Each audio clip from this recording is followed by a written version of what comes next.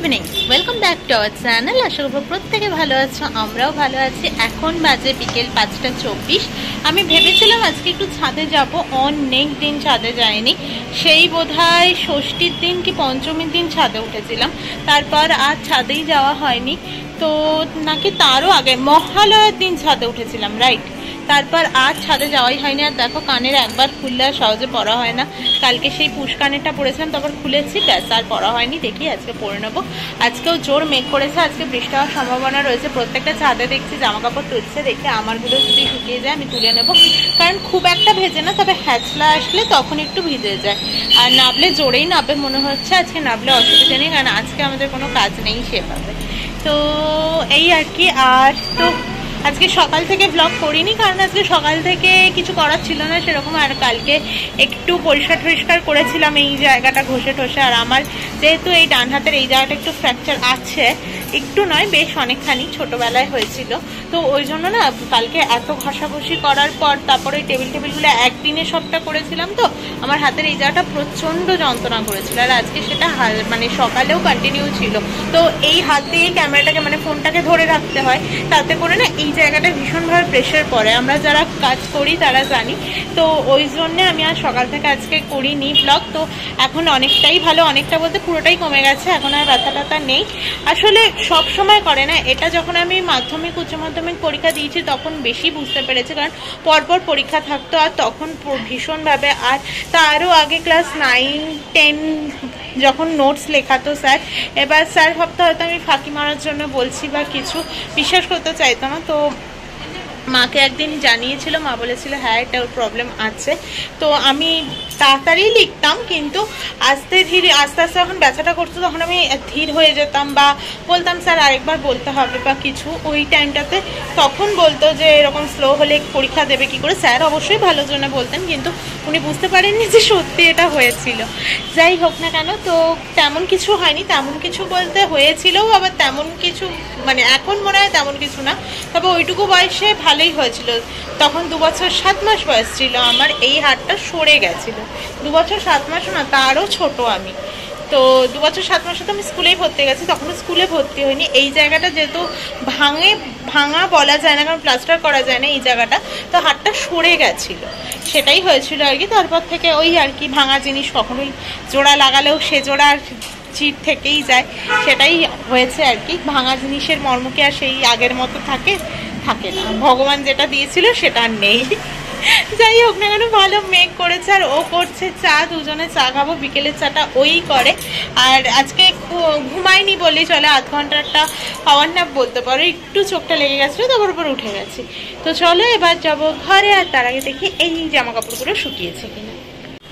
তোমরা কতটা বুঝতে পারছ জানি না, দেখো ওপাশটা পুরো কালো করে আছে, একদম দেখো। ছাদে গেলে হয়তো ভালো বোঝা যেত। চলো তোমাদেরকে একবার নিচের ছাদটা থেকে হলেও ঘুরিয়ে নিয়ে আসি। এখান থেকে তো বুঝতে পারছোই যে মেঘটা করেছে একটু, কারণ পাঁচটা চব্বিশে এখানে সন্ধে হয় না, সাড়ে ছটা বাজিয়ে দেয়। চলো ছাদটাকে ঘুরে আসি। ওপরের ছাদে উঠলে হয়তো আরও ভালো দেখতে পারতে, কিন্তু এইবার দেখতে পাচ্ছ তো প্রপার পুরো দেখা যাচ্ছে যে ওই কোনটা ওটা আসলে আমাদের ইলেকট্রনিক সিটির দিক, আর বৃষ্টিটা না হলে ওই দিক থেকেই নেমে আসে। পুরো এইরকম। কালো হয়ে আছে ওই পাশটা পুরো, আর আকাশটাকেও দেখতে পাচ্ছ তো? পুরো কালো। আসব না করতে করতেও সেই ছাদে চলেই এসছি। একবার উঠলে যা হয়, কিন্তু ছাদে এসে আমি তো পুরো অবাক। গাছগুলো কি সুন্দর হয়েছে। আমার মনে হয় ওই ওনারের ব্যালকানিতে যে গাছগুলো ছিল, সব এখানে দিয়েছে। খুব সুন্দর হয়েছে। জবা গাছই দেখছি, চারটে আছে, গোলাপ গাছ আছে দুটো, টগর গাছ একটা। বেশ সুন্দর লাইন দিয়ে গাছগুলো দিয়েছে, খুব ভালো লাগছে দেখতে। আর পেছনটা জাস্ট দেখো। ভীষণ মেঘ করেছে, ভীষণ। আসবেই বৃষ্টি। চলো, নিচে তাড়াতাড়ি যাই। ও চা দিয়ে দিয়েছে। আবার ওই পাশটাতে রোদ আছে, দেখা যাচ্ছে। ও পাশটায় অতটা মেঘ করেনি। এই হয় এখানে ওয়েদারটাই এইরকম। এই যে, দেখো, এই জিনিসটার কথাই বলছিলাম। এই জায়গাটা এরকম কালো মেঘ করে আছে, দেখতেই পাচ্ছ। আর ওই কোনাটায় দেখো ওই জায়গাটা দেখেই মনে হচ্ছে সব স্পষ্ট দেখা যাচ্ছে, ওখানটায় কোনো মেঘ নেই। এমনকি আমাদের বিটিএম লেকের দিকটাতেও মেঘ করেনি। যা করার এই দিকটাতেই করেছে। চলো, ঝটাপট এবার নিচে চলে যাই। এই দেখো ছাদের গাছগুলো। বলছিলাম না, বালতিতে অনেকখানি করে মাটি পেয়েছে তো, দেখো। সুন্দর হয়েছে গাছগুলো। তাতেই চলে, এবার নিচে চলে যেতে হবে আমাকে। আর নয়।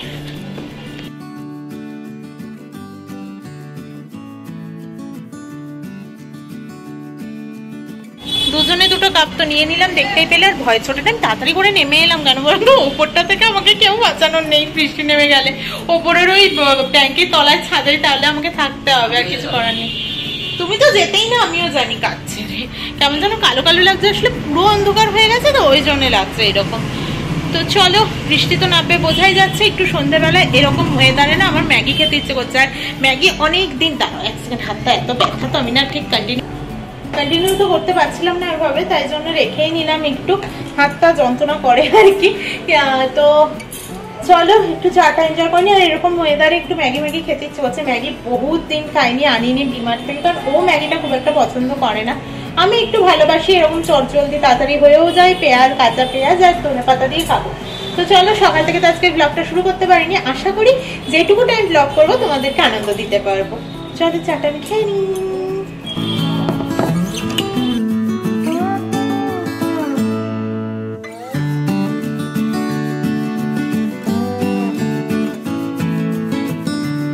রাত্রি নটার আমি রান্নাঘরে চলে এসেছি, মাটনটাকে আমি সকালেই মাখিয়ে রেখেছিলাম। এইটুকুই ছিল, আগের দিন যে আনা হয়েছিল সেখান থেকে ছ পিস রয়ে গেছিল। এখানে আমি আলু, পেঁয়াজ কেটে রেখেছি আর মিক্সিতে আমি পেঁয়াজ, আদা, রসুন, টমেটো এগুলো পেস্ট করে নিয়েছি আর মাটনটাকে আমি টক দই দিয়ে, নুন দিয়ে, হলুদ দিয়ে ড্রাই স্পাইসেসগুলো দিয়ে মাখিয়ে রেখে দিয়েছি আর উনি খাবেন কড়াইশুটির কচুরি, তাই জন্য পুরটাও রেডি করে দিয়েছি আর কড়াইতে তেল দিয়ে দিয়েছি, এখন হবে মাটনটা। তো চলো, আমি সবটা রেডি করে নিই, তারপর আসব তোমাদের কাছে। অনেকক্ষণ ধরেই না কষাচ্ছি। আরেকজনকে বলেছি একটু ফোনটা ধরে দেবে বলছে কিনা শুধু দেখালে হবে একটু চাপতে না দিলে হয়। পাপ হয়ে যাবে পাপ। দেখো বলছে পাপ হবে নাকি অনেকক্ষণ ধরে কষাচ্ছি প্রায় আধ ঘণ্টা হয়ে গেছে। সেটা মশলাটা দেখেই বুঝতে পারছ। পুরো শুকিয়ে এসেছে মশলাটা। তো আর একটু টাইম কষিয়ে তারপর প্রেশার কুক করব। তো করে নি একবার আর এদিকে আমার ময়দা ফয়দা মাখাও হয়ে গেছে এই যে। মাটনটা হয়ে গেছে। দেখো। দেখতে কিন্তু খাসা হয়েছে। থাক চাপা দিয়ে দিলাম। এদিকে তেল গরম হচ্ছে আর কচুরি বেলা চলছে। চলো ভেজে নেওয়া যাক আগে।